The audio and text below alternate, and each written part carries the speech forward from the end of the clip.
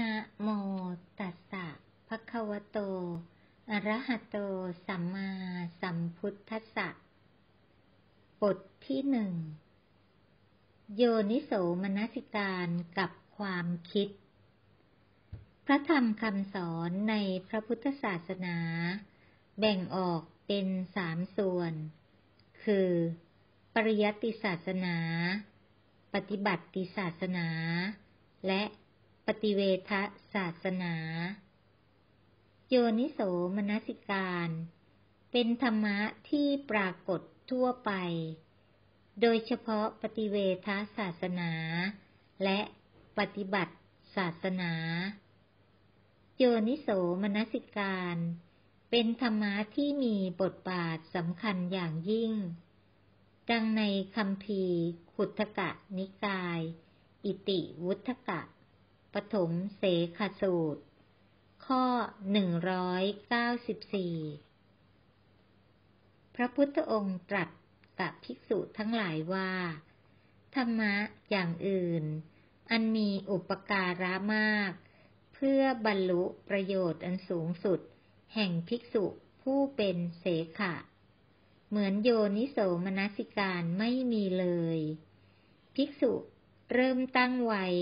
ซึ่งมณสิการโดยแยบคาย พึงบรรลุนิพพาน อันเป็นที่สิ้นไปแห่งทุกข์ได้ แม้ในพระวินัยปิฎกมหาวัคข้อสามสิบห้าพระพุทธองค์ก็ทรงแสดงความสำคัญของโยนิโสมนสิการไว้ ดังนี้ ดูก่อนภิกษุทั้งหลาย เพราะกระทำไว้ในใจ โดยแยบคาย เพราะตั้งความเพียรไว้โดยแยบคาย เราจึงบรรลุอนุตตรวิมุตติ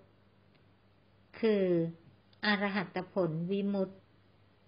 จึงได้ทำอนุตตรวิมุตติให้แจ้ง แม้พวกเธอก็บรรลุอนุตตรวิมุตติ เพราะกระทำไว้ ในใจโดยแยบคาย เพราะตั้งความเพียรไว้โดยแยบคาย หลักฐานอีกแห่งหนึ่ง ที่แสดงให้เห็นว่า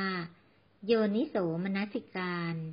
เป็นธรรมะที่ปฏิบัติแล้วทำให้เข้าถึงปฏิเวทาศาสนา คือ อัตถกถา มัชฌิมานิกาย มูลปัญนาต สัพพาสวะสังวรสูตร หน้าหนึ่งร้อยห้าสิบแปดกล่าวไว้ โดยปริยายว่า โยนิโสมนสิการ เป็นเสมือนประตูไปสู่มรรคผลนิพพาน ดังนี้ บัณฑิตพึงเข้าใจว่า ความสิ้นไปแห่งอาสวะทั้งปวง ย่อมมีแก่ภิกษุ ผู้รู้อยู่ พื่อยังโยนิโสมนสิการให้เกิดขึ้น ข้อความในอัตถกถาและพระสูตรต่างๆ ที่นำมาข้างต้น แสดงว่า โยนิโสมนสิการ เป็นปัจจัยหนึ่งที่สำคัญมากทำให้การเจริญกุศลไปถึงขั้นมรรคผล นิพพานได้ นอกจากนี้ โยนิโสมนสิการ ยังมีบทบาทสำคัญ ต่อปฏิบัติศาสนา ดังอัตถกถา ขุทกานิกาย อุทาน อุปาติสูตร หน้า 651 กล่าวดังนี้ สมัยพุทธกาลตลอดหนึ่งวันหนึ่งคืน ในวันอุโบสถ ชาวเมืองสาวัตถี เข้าไปในพระวิหารเชตวัน เพื่อชำระอุโบสถ ในวงเล็บ อุโบสถศีล ให้สะอาด และเพื่อพอกพูนโยนิโสมนสิการ ข้อความในอัตถกถาดังกล่าว เป็นเสมือนลายแทงที่ชี้ขุมทรัพย์ ให้กับชาวโลกยุคนี้ เพราะสมัยนี้ การปฏิบัติธรรมไม่มีโยนิโสมนสิการเลย วิธีปฏิบัติก็ต่างๆกันไป ผู้ไม่ได้ศึกษาพระไตรปิฎกตลอดจนอัตถกถาและดีกามาก่อน ย่อมยากที่จะวินิจฉัยว่า แนวทางปฏิบัติใด ผิด ถูก ประการใด ตรงตามพระธรรมวินัยหรือไม่ เพราะต่างก็อ้างว่า มาจากพระไตรปิฎกด้วยกันทั้งนั้น แต่วิธีปฏิบัติกลับต่างกันไป ดังในวงการปฏิบัติธรรม ยังมีการโต้เถียงกันอยู่ ดังนั้น ข้อความที่ว่า ชาวสาวัตถีเข้าไปในพระเชตวันวิหาร ในวันอุโบสถ เพื่อพอกพูนโยนิโสมนสิการ ข้อความนี้ทำให้เห็นภาพการปฏิบัติธรรมของบุคคลสมัยพุทธกาลว่า ท่านปฏิบัติธรรมกันอย่างไร ความหมายของโยนิโสมนสิการ โดยศัพท์ โยนิโสมนสิการ ประกอบไปด้วยคำโยนิโส กับ มนสิการ โยนิโส มาจาก โยนิ แปลว่าเหตุ แหล่งเกิด ปัญญา แยบคาย ส่วนมนสิการ อัตถกถา ธรรมสังคณี หน้าสามร้อยห้าสิบแปลว่า การกระทำไว้ในใจ รวมความแล้ว แปลว่า การกระทำไว้ในใจ โดยแยบคาย หรือการใส่ใจ โดยอุบาย แยบคาย โยนิโสมนสิการ เป็นความคิด ความหมายตามพยัญชนะดังกล่าว แสดงว่า โยนิโสมนสิการ เป็นเรื่องของความคิด ดังอัตถกถา มัชชิมานิกาย มูลละปันนาตสัพพาสวะสังวรสูตร หน้าหนึ่งร้อยห้าสิบเจ็ดแสดงไว้ชัดเจนว่า โยนิโสมนสิการ เป็นความคิด ดังนี้ ที่ชื่อว่า โยนิโสมนสิการ ได้แก่ การกระทำไว้ในใจ โดยถูกอุบาย การกระทำไว้ในใจ โดยถูกทาง การนึก การน้อมนึก การผูกใจ การใฝ่ใจ การทำไว้ในใจ และอื่นๆ หลักฐานอีกแห่งหนึ่ง ในอัตถกถาพุทธกานิกาย อิติวุฒกะ ปฐมเศษกสูตร หน้าหนึ่งร้อยสิบแปด แสดงว่า โยนิโสมนสิการ เป็นเรื่องการตรึกนึกคิด ดังนี้ บทว่า เอวังพหุปการัง ยะถะยิดัง โยนิโสมนสิกาโร ได้แก่ มนสิการโดยอุบาย มนสิการโดยครองธรรม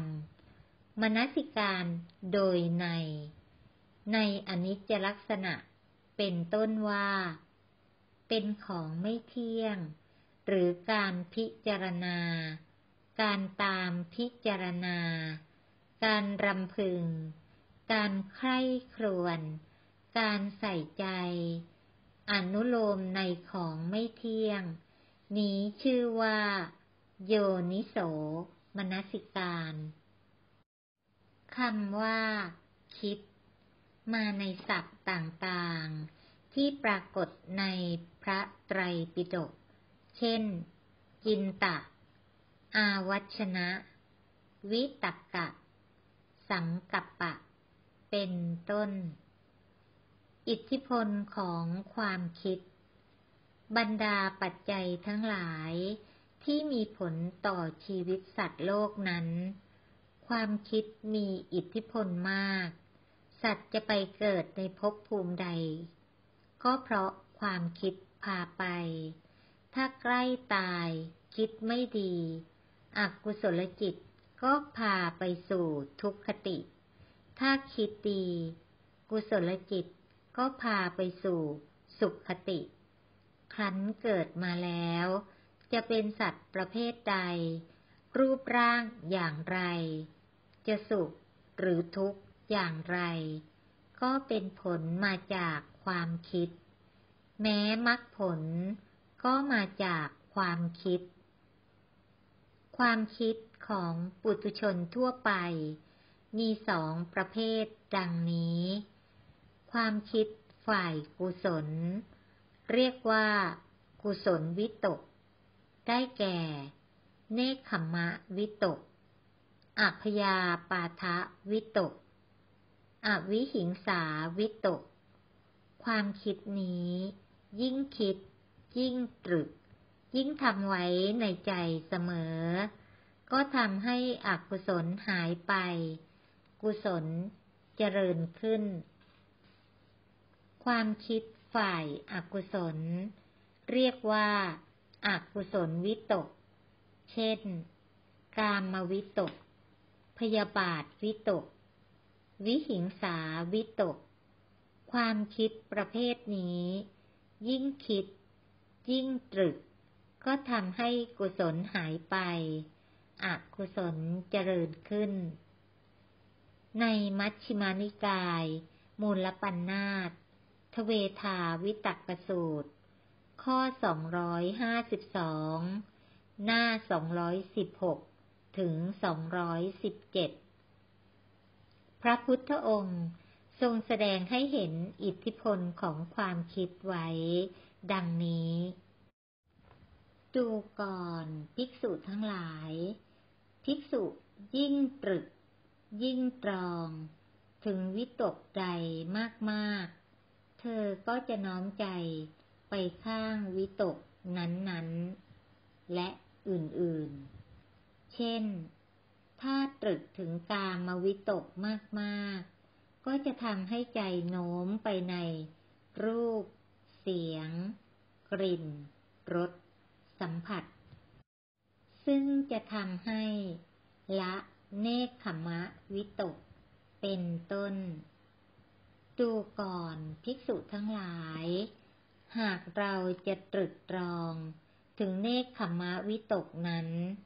ตลอดทั้งกลางวันทั้งกลางคืน เราก็ไม่เห็นภัยอันบังเกิดขึ้น จากเนคขมะวิตกนั้นเลย โยนิโสมนสิการ ตามนัยยะพระอภิธรรม และพระสูตร โยนิโสมนสิการ ตามนัยยะพระอภิธรรม กล่าวเป็นหลักการทั่ว ๆ ไปว่า ในเครื่องหมายคำพูด ความคิดใด ๆ ของบุคคลใด ๆ ที่เป็นเหตุให้เกิดกุศลจิต เช่น เกิดเมตตาเป็นต้น ความคิดนี้เป็นโยนิโสมนสิการ ปิดเครื่องหมายคำพูด ดังนั้น ไม่ว่าบุคคลใด เชื้อชาติใด ศาสนาใด ต่างเคยโยนิโสมนสิการมาแล้วทั้งนั้น เพราะทุกคนเคยมีกุศลจิตมาแล้ว เช่น เคยให้ทานเป็นต้น ในคำพีมิลินทปัญหา พระนาคเษนเถระกล่าวว่า แม้สัตว์เดรัจฉาน เช่น แพะ แกะ โค กระบือ ก็มีโยนิโสมนสิการบ้างในบางครั้ง เช่น กุศลจิตเกิดเมื่อให้นมลูกเป็นต้น โยนิโสมนสิการดังกล่าว เป็นไปตามธรรมชาติ โดยไม่รู้ตัว ย่อมเกิดไม่มาก เกิดไม่บ่อย โอกาสพัฒนาให้เพิ่มขึ้น จึงไม่มี ส่วนโยนิโสมนสิการ ตามในยะพระสูตร แม้มีหลักการเดียวกันกับพระอภิธรรม แต่โยนิโสมนสิการในพระสูตร มุ่งไปที่โยนิโสมนสิการให้เกิดกุศลขั้นสูง ตั้งแต่กามาวจรกุศลขั้นทาน ขั้นศีล ไปจนถึงโลกุตรกุศล ในพระสูตรทั่วไป พระพุทธองค์ทรงแสดง ลักษณะ เหตุเกิด ความดับ คุณโยนิโสมนสิการ โทษอโยนิโสมนสิการพื่อยังพุทธบริษัทให้เกิดปัญญา รู้วิธีเพิ่มพูนโยนิโสมนสิการ เพื่อให้เกิดโลกุตรกุศล ประเภทโยนิโสมนสิการ ในพุทธธรรมฉบับปี 41 หน้า 670 พระเดชพระคุณ พระพรมคุณาภรในวงเล็บ ปออประยุตโต ได้รวบรวมความหมายของโยนิโสมนสิการ จากพระบาลี จากอัตถกถา และดีกา แสดงลักษณะความคิดที่เป็นเหตุใกล้ให้เกิดกุศล ไว้สี่ประเภทดังนี้หนึ่งอุปายะมนสิการ เป็นการกระทำไว้ในใจ หรือความใส่ใจด้วยความแยบคาย หรือฉลาดคิด อันเป็นเหตุใกล้ให้กุศลเกิด เช่นคิดแล้วทำให้เข้าถึงความจริง หรือคิดแล้วเปลี่ยนอกุศลมาเป็นกุศลได้ หรือทำให้กุศลที่มีอยู่ มีมากขึ้นเป็นต้น 2. ปะทะมนสิการ เป็นการกระทำไว้ในใจ หรือความใส่ใจให้อยู่ในแนวทางที่ถูกต้อง เช่น คิดในกรอบของกุศลกรรมบทสิบ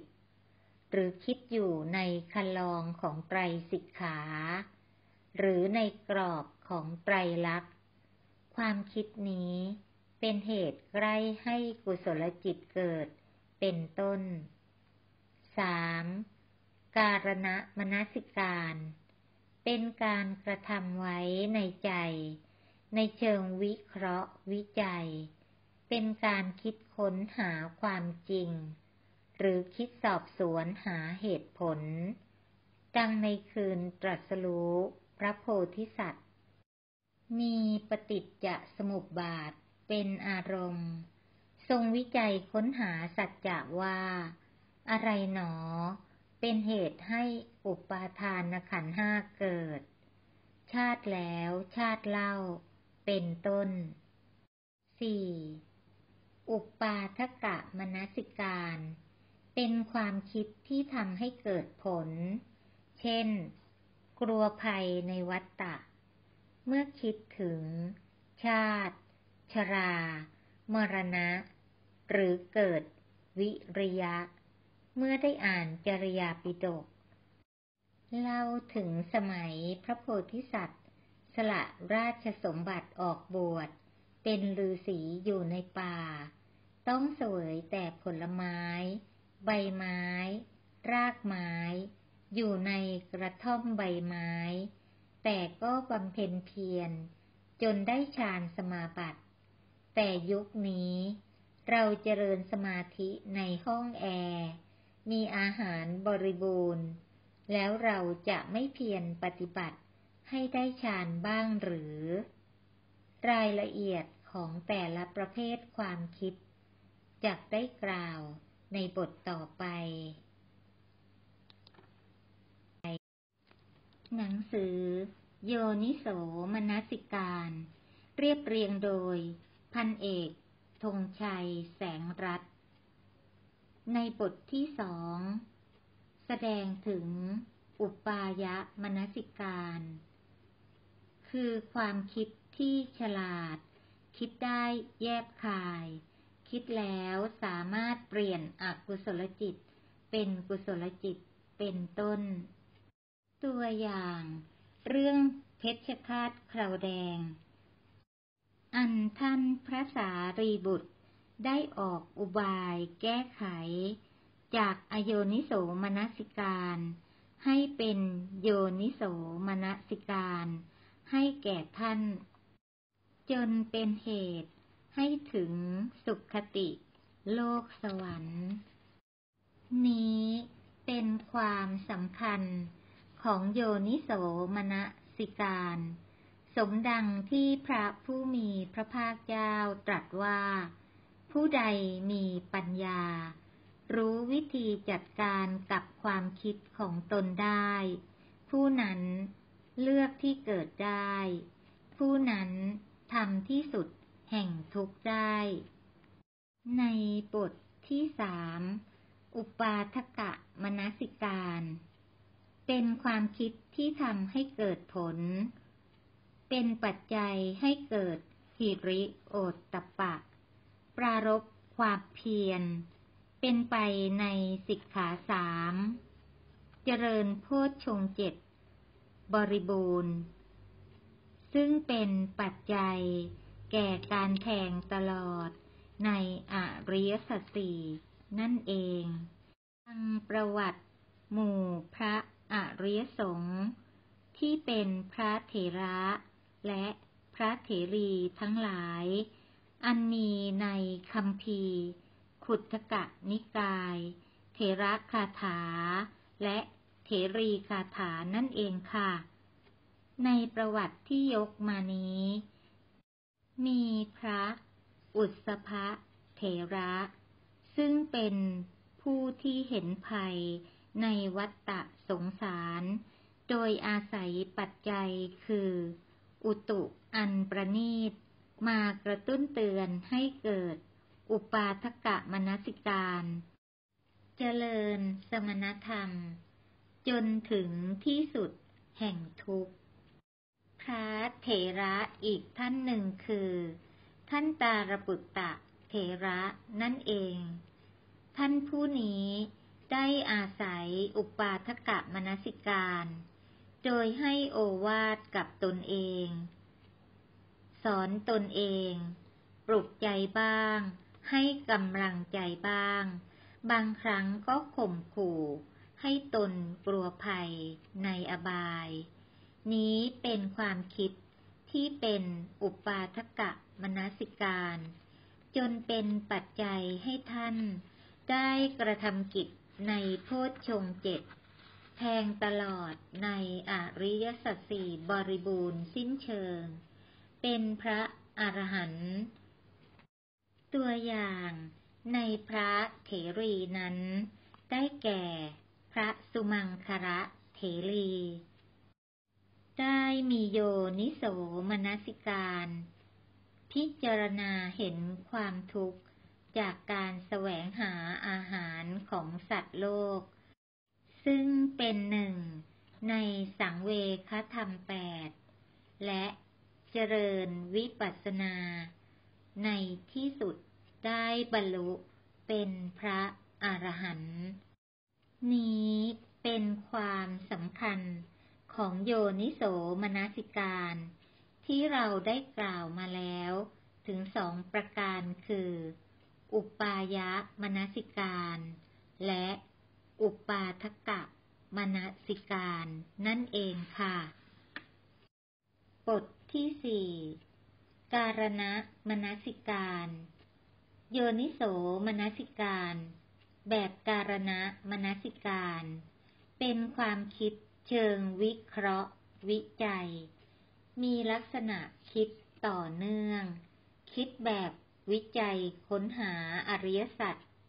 คิดจากเหตุไปหาผล หรือจากผลสาวไปหาเหตุ โดยอาศัยปริยัติเป็นแนวทางวิจัย ดังในคำพีขุทกะนิกาย เถระคาถา นาคสมาละเถระคาถา พระนาคสมาละเถระ บรรลุธรรม เพราะมีโยนิโสมนสิการ แบบการณมนสิการ ดังนี้ การเดินเข้าไปบินทบาทในพระนคร เห็นหญิงฟ้อนรำคนหนึ่ง ตกแต่งร่างกายด้วยอาภรณ์นุ่งห่มผ้าที่สวยงาม ทัดทรงดอกไม้รูปไหลด้วยกระแจจัน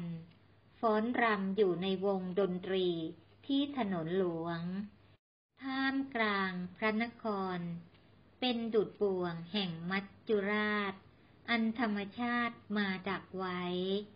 การกระทำไว้ในใจ โดยแยบคาย บังเกิดขึ้นแก่เรา อาทีนวโทษ ปรากฏแก่เรา ความเบื่อหน่ายก็ตั้งมั่นลำดับนั้น จิตของเราก็หลุดพ้นจากสัพพกิเลส อัตถกถา นาคาสมาละ เทระคาถา อธิบายว่า ขณะนั้น พระนาคาสมาระเถระ มนสิการในแบบวิเคราะห์วิจัย ค้นหาสัจจะว่า วายโยธาตอันกระทำให้วิจิตนี้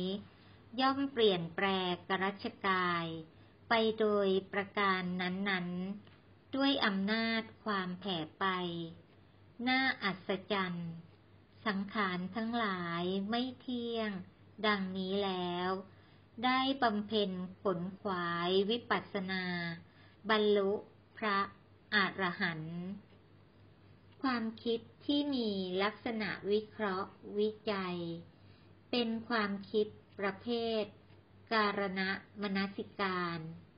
ของพระนาคสมาระเถระดังกล่าวนั้น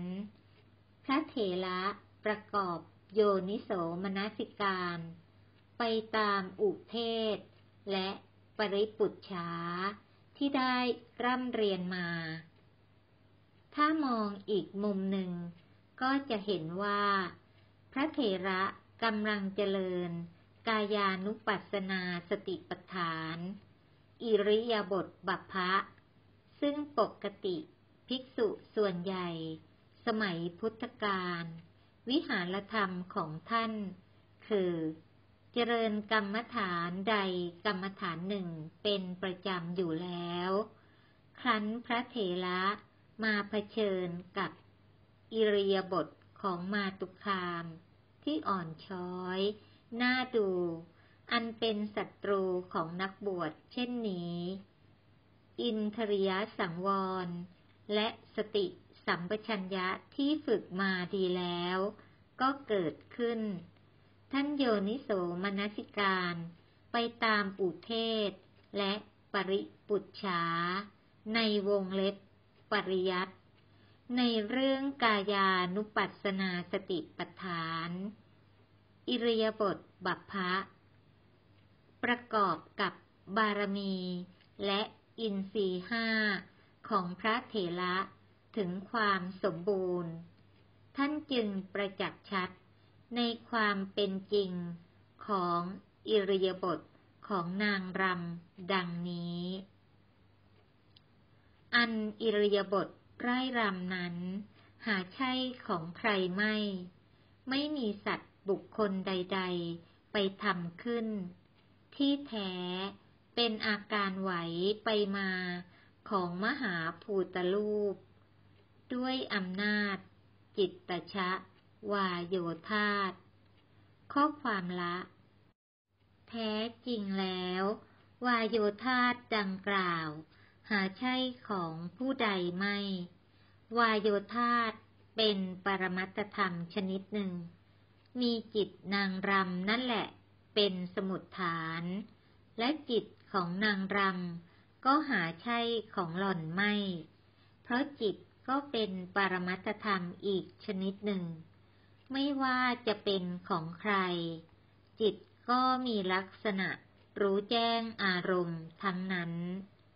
เกิดขึ้นเพราะปัจจัยต่างๆ เช่น โสตะวิญญาณ คือจิตที่ได้ยินของนางรำเป็นต้น โสตะวิญญาณ คือจิตได้ยินของนางรำนี้เกิดขึ้น เพราะมีเสียงดนตรีเป็นปัจจัย ในวงเล็บ อารัมมณะปัจจัย แม้เสียงดนตรีก็ไม่ใช่ของผู้ใด เสียงดนตรีเป็นรูปปรมัตชนิดหนึ่ง เกิดจากมหาภูตรูป กับมหาภูตรูปกระทบกัน เสียงดนตรีสูงสูง ต่ำต่ำดังมาก ดังน้อย หรือดังเป็นจังหวะ ก็เพราะจิตของนักดนตรีเป็นปัจจัย ให้มหาภูตรูปสี่คือมือของนักดนตรี เคลื่อนไหวไปมา บนเครื่องดนตรี แม้จิตของนักดนตรี ก็เกิดแต่ปัจจัยอื่น ๆ เช่นกัน ครั้นจะสาวหาตัวตนต่อไป ก็หาพบสัตว์บุคคลตัวตนใด ๆ ไม่ คงพบแต่ปรมัตธรรม คือจิต เจตสิก รูปกำลังทำกิจเป็นไปอยู่ เพราะพระนาคสมาระเถระเป็นผู้มีศีลวิสุทธิ จิตตะ วิสุทธิ ตลอดจน สุตตะ มาบริบูรณ์ดีแล้ว เมื่อท่านประสบกับอิริยาบถนางรำที่อ่อนช้อย น่าดู อันเป็นศัตรูของนักบวชเช่นนั้น จึงประกอบโยนิโสมนสิการ ไปตามอุทเทศปริปุจฉา ในวงเล็บปริยัติ ที่ท่านได้รับการอบรมสั่งสมมา จากอุปัชฌาย์อาจารย์ พระเถระจึงแทงตลอดอริยสัจสี่บรรลุมรรคผลนิพพานได้ แม้อิริยบถสี่มียืน เดิน นั่งนอน ที่เราเข้าใจกันว่า เป็นเรายืน เราเดิน และอื่นๆ เมื่อนำมาวิเคราะห์ไปตามอุเทศปริปุจฉาแล้ว ก็จะเกิดปัญญาเห็นว่า แท้จริงแล้ว ตัวเราหามีไม่ ดังนั้น จึงไม่มีใครยืน เดิน นั่ง นอน อิริยาบถสี่ไม่ใช่ของใคร ไม่มีใครไปทำขึ้น คงมีแต่ปรมัตธรรมที่ดำเนินไป ตามธรรมนิยาม กล่าวคือ เป็นไปตามธรรมชาติ ดังอัตถกถา ขุทกะนิกาย สุตตนิบาตวิชยสูตร หน้า 487 แสดงไว้ดังนี้ อิริยาบถยืน เมื่อจิตเป็นธรรมชาติชนิดหนึ่งเกิดขึ้นว่า เรายืน วายโยธาตอันเป็นธรรมชาติชนิดหนึ่ง มีจิตนั้นเป็นสมุดฐาน ก็แผ่ไปตามร่างกาย ร่างกายเป็นมหาภูตรูป เป็นธรรมชาติที่อยู่ส่วนเบื้องสูง ในวงเล็บของกาย ก็ถูกยกขึ้น ความเป็นไปของธรรมชาติทั้งสองนี้ ถูกบัญญัติด้วยคำว่า ยืน อิริยาบถนั่งก็เช่นเดียวกับอิริยาบถยืน คือ เมื่อจิตเกิดขึ้นว่า เรานั่ง วายโยธาที่มีจิตนั้น เป็นสมุดฐาน ก็แผ่ไปตามร่างกาย ร่างกายเบื้องต่ำก็จะโค้เข้า และกายเบื้องสูง ก็จะมีการยกขึ้น ความเป็นไปของธรรมชาตินี้ ถูกบัญญัติด้วยคำว่า นั่ง แม้อิริยาบถอื่นๆ เช่น อิริยาบถเดิน อิริยาบถนอน และอิริยาบถย่อยอื่นๆ มีคูเข้า เหยียดออก ทรงสังคาติ บาท จีวร เป็นต้น ก็เป็นธรรมชาติที่เกิดขึ้นทำนองเดียวกัน หามีสัตว์บุคคลใดๆไม่ เนื่องจากอิริยาบถดังกล่าว เป็นอาการของจิตตชรูป ที่เกิดพร้อมกับอุปาทขณะของจิต เมื่อเกิดพร้อมกัน จึงไม่ใช่จิตไปสั่ง ให้ยืน ให้เดิน เป็นต้น แต่ท่านใช้คำว่า จิตเป็นปัจจัย แก่ อิริยาบถนั้นๆ เนื่องจาก การกำหนดหรือการพิจารณา อิริยาบถไม่ใช่ไปเจริญ อิริยาบถแต่เป็นการเจริญปัญญา โดยอิริยาบถนั้นแหละ เป็นอารมณ์ การเจริญวิปัสสนา เป็นกิจการงานทางมโนทวารจึงเป็นเรื่องการตรึก การใคร่ครวญ การวิจัย การค้นหาสัจจะ ดังนั้น ไม่ว่าพระโยคาวจรกำลังอยู่ในอิริยาบถใด ๆ ก็พิจารณาอิริยาบถอื่นได้ เช่นนั่งอยู่ ก็พิจารณาอิริยาบถเดินได้ หรือนอนอยู่ ก็พิจารณา อิริยาบถเดินได้ เป็นต้น แม้อิริยาบถในอดีต หรือปัจจุบัน อิริยาบถของเรา หรือของผู้อื่น ก็นำมาพิจารณาได้ ดังพระนาคสมาละบรรลุธรรม ด้วยการพิจารณา อิริยาบถนางรำเป็นต้น อารมณ์วิปัสสนานั้น ไม่จำเป็นต้องเป็นอารมณ์ที่เป็นปัจจุบัน แต่อย่างเดียว ทั้งนี้ แล้วแต่อุปนิสัย หรือปัญญาของโยคาวจร นั้นๆ ดังที่พระพุทธองค์ตรัสกับปัญจวัคคีภิกษุ ในคำพีสังยุตตนิกาย ขันธวารวักปัญจวัคคียสูตร ข้อหนึ่งร้อยยี่สิบเก้าดังนี้ ดูก่อน ภิกษุทั้งหลาย เพราะเหตุนั้นแหละ รูปอย่างใดอย่างหนึ่ง ทั้งที่เป็นอดีต อนาคต ปัจจุบัน เป็นภายใน หรือภายนอก และอื่น ๆ เธอทั้งหลาย พึงพิจารณาด้วยปัญญาอันชอบ ตามความเป็นจริงว่า